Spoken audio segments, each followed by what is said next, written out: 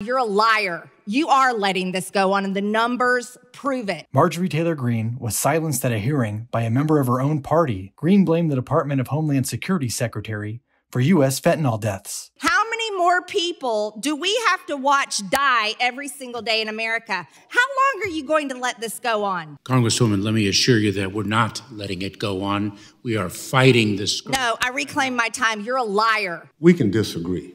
You don't have to call uh, a witness a liar. The rules state you can't impugn someone's uh, character. Uh, identifying or calling someone a liar is unacceptable in this committee. And I make the ruling that we strike those words. When we strike, uh, it does terminate the time of the individual who is speaking. So uh, the gentlelady is no longer recognized. Greene left the hearing shortly after that moment.